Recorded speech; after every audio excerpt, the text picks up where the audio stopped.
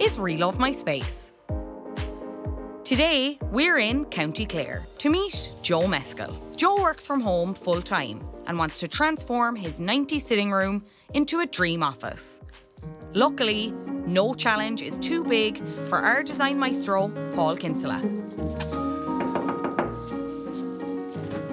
Hi guys, how are you? Hi, how are you? Welcome to Clare, come on Oh, in. thanks so Thank much. you.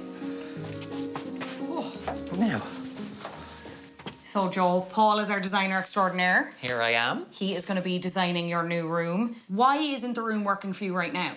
Well, I bought the house off my parents not so long ago, and that room was the good sitting room. Um, I came back and I put my desk into the middle of the good sitting room, and nothing uh, gelled well anymore together. So uh, there is like lots of different types of furniture. Um, it doesn't work. It's not ideal, I think, for a home office where I spend most of the hours of my life now. So um, it would be nice if it gels well together and it doesn't have that uh, good 90s sitting room look anymore. So, what colours do you actually like? I really like uh, blues, greys, whites. So that's my style, really.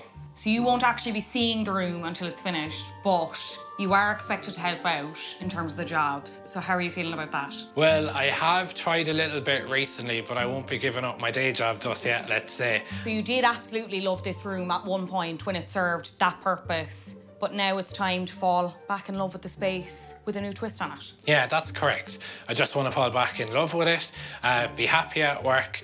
Hopefully, let me be more productive at work um, without worrying about all these different colours and patterns. So it would be nice to have a suitable work environment to make uh, my day easier. Now that Paul understands what Joe is after, it's time to get started on the redesign. So, what is your plan for Joe's room? Well, Joe's Pink Paradise is going to be neutralised down. I'm going to give him that pop of blue he's looking for. He loves his desk, but I'm going to give it a little bit of an upcycle and also keep it in the same position because one of his things is he loves to look out that window. And I found a beautiful table that he's not using in his house, so I'm going to go leaf that and then put a bit of gold leaf veining on top of it as well. I'm going to change those walls from pink to blue. I'm going to take up that carpet, I'm going to cover the couch, and then I'm going to change out the curtains. I want to give Joe his dream office space. I cannot wait to see this come to life. With everyone but Joe briefed on the design, the makeover can begin. And Paul and the team arrive to get started. First up, we freshen up those walls while Joe gets stuck into some DIY.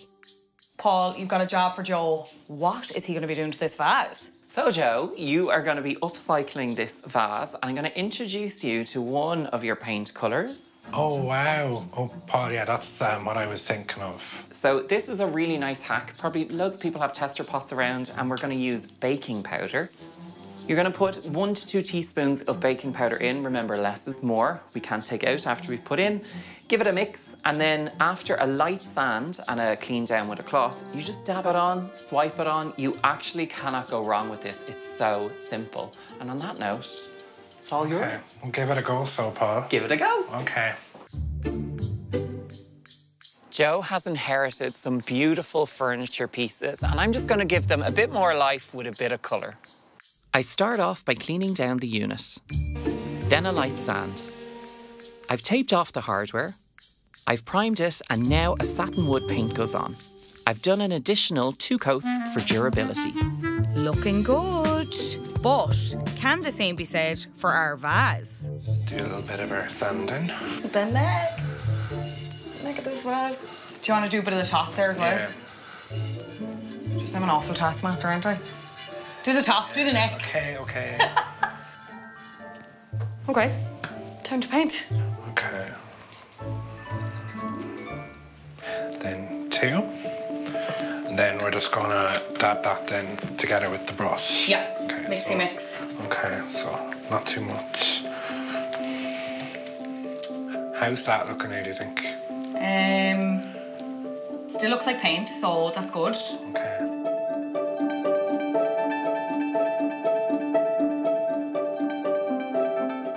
Look, as much as I'd love to rob this for my gaff, I won't. I'll leave it to you. Uh, but now that you have seen it and I suppose the colour, do you have any more hints as to where you think Paul might be going for your new home office? Well, I'm very happy with this blue. It's a good sign. This is something I would have had in my own mind to do for the room. I think now I trust Paul more now than I would have. Um, uh, there's good sign with this colour and um, I'll sleep tonight anyway, Fionnuala. You trust him now that you've seen the paint. You didn't trust him before. I trusted him a bit, but now I, I trust him more.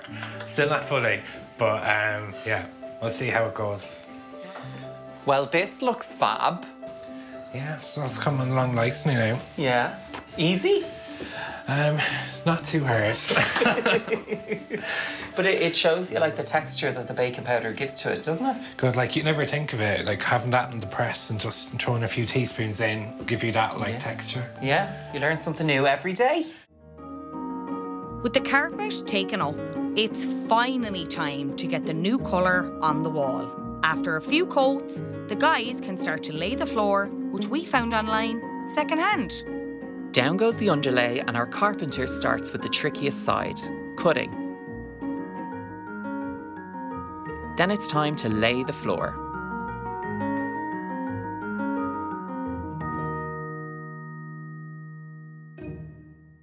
This is Joe's current desk. It's actually a little bit too small for him, so I've got some extendable legs to raise it and some contact paper to tie it into the room.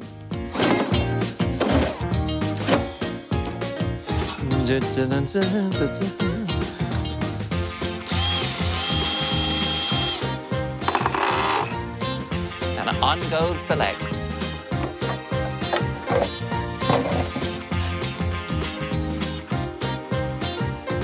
Very tall. Contact paper is super affordable and it's a great hack to upcycle furniture and it comes in loads of different varieties of finishes.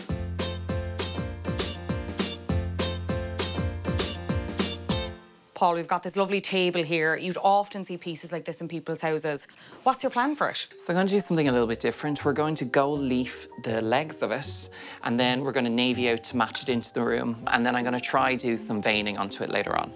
Love it. We're going to start with just a light sand so that uh, the adhesive grips to it. With a little bit of sandpaper just to give it some gripping. And it's good just to give it a wipe so you get any of the dust off it. Now we're going to use some of the gilding adhesive and it's just good to throw in a tiny bit of water so it just becomes a bit more easy to apply. And we just start applying all over. And now we're going to prime the top and leave it to dry. So now it's kind of tack dry. This is the fun part. This is when we get to apply the gold leaf. And it's not precious. You can put it on and away you go. Love it. Throw on the gloves because it can be very um, sticky, as in like it just sticks to everything. So the leaf is very delicate and it kind of, the minute it goes near the wood, it'll adhese itself and you're just kind of brushing it very gently onto it all around it and then we'll buff it off. And it doesn't matter if it overlaps. It doesn't have to be perfect. Okay, I know you're saying we don't have to be perfect, but like, can we look at Paul's and then look at mine? You're getting really stuck in. What do you mean? Just a bit of gold there. Oh. it's just my natural aura. And now the leaf is dried, we can brush it off. And you can be a bit aggressive with this.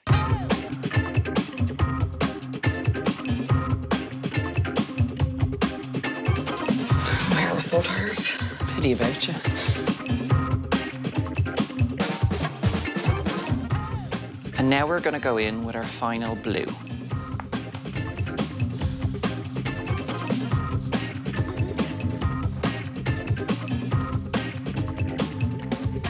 And now I'm just lightly putting on some lines to create some kind of veins into it with some of the adhesive, but like I'm not loading up the brush that much.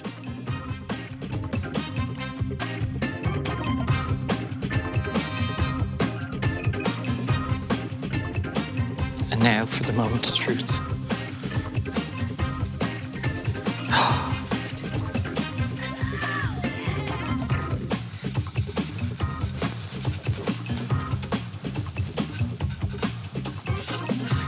and just like that, it's done. Look at that. So good. It doesn't have to be perfect. Now, all that's left to do is add the finishing touches to the room.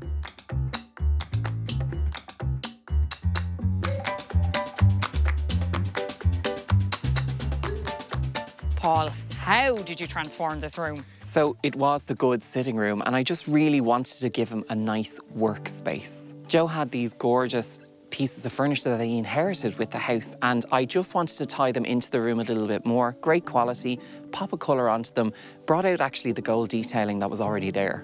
And that vase that you and Joe did, we found that in a local charity shop for a few euro. Then with the desk, I got some extendable legs that he can either raise it or keep it low, and then that very busy carpet. We whipped that up and we got a lovely floor down instead. We pulled that entire room together from charity shops and second-hand finds online. I hope it's going to live up to his expectations, but I think it will. How are you feeling, Joe? Are you excited? Very excited, a little bit nervous, not sure what he did, but it's been a long time coming for this room to be what I want it to be. So let's see what Paul has done. Right, it's officially the end of the good sitting room. Let's go take a look.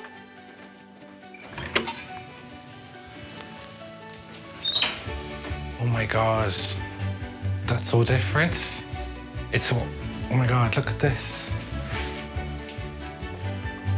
Oh, this is gorgeous. There's like no clutter. like, and look at the colours, like just. Oh my god, I love it. Is that my old uh, end table? Sure is. Oh my god. Oh, and look at what we made. Our handiwork.